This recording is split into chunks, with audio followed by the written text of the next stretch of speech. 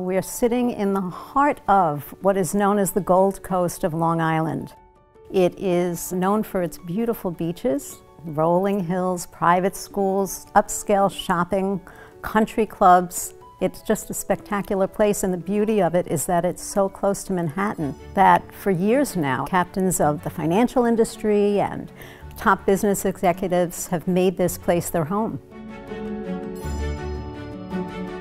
The owner of this house actually is very much in love with all things French, French architecture in particular, and we're really sitting in the lap of luxury here in the Grand Ballroom. And this room in particular, I think, was inspired by the French rooms at the Met. The stairway in the foyer was inspired by the stairway at the Petit Trianon, which is part of Versailles. Most impressive to me is the fact that the owner actually is the creator of this entire estate. It was his. He conceived the idea. He selected every single piece of furniture here, every molding, every type of flooring, every fabric, every lamp, every lighting fixture. He chose himself and he was able to create this lush palette.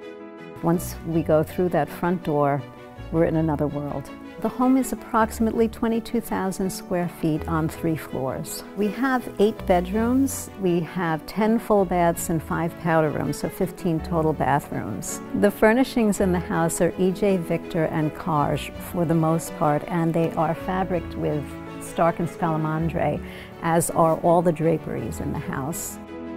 The chandeliers are about $2.5 million in total value. We have Baccarat, Schonbek and Strauss cut crystal chandeliers, Saint Louis, and there are some Ralph Lauren as well.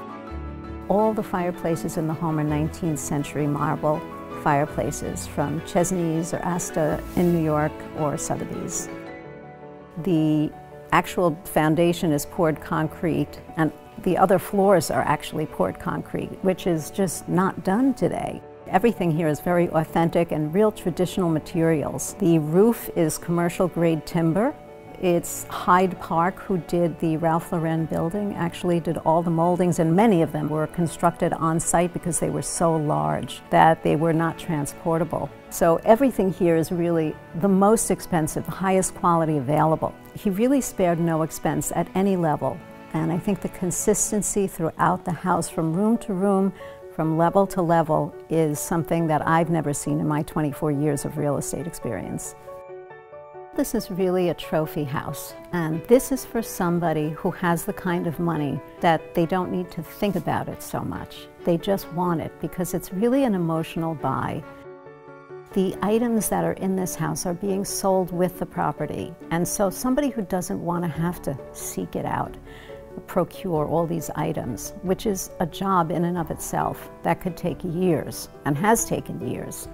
It takes a while for a unique home, and in particular in this price range on Long Island, to sell. There really hasn't been such a large sale for a long time. And I've sold some high-end properties, but this is in another category.